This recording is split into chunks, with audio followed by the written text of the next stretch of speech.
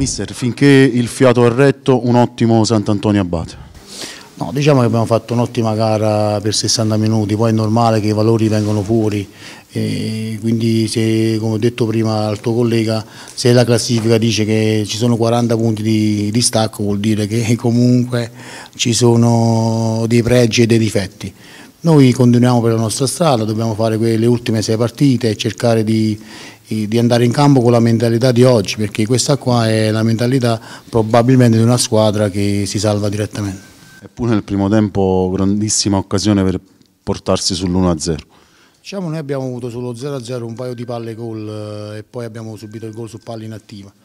Però ripeto, non era questa la partita che potevamo fare punti.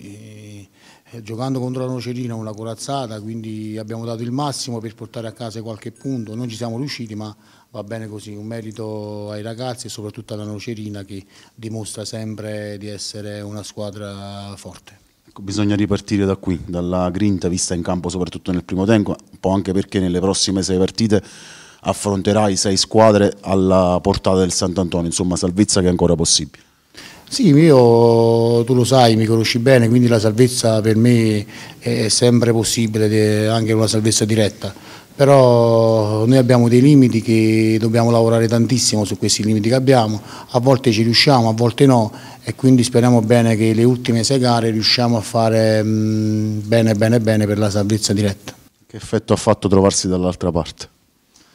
Vabbè, diciamo che non è passato nemmeno un anno, si può dire, che stanno c'era, poi ti trovi contro dove comunque abbiamo lavorato oh, in condizioni dove tutti conoscete bene, però un effetto diciamo normale, fa piacere se la nocerina uh, sale, va via da questa categoria perché comunque di categoria superiore, ma non lo dico io, comunque sono i numeri che, che parlano, comunque va bene così.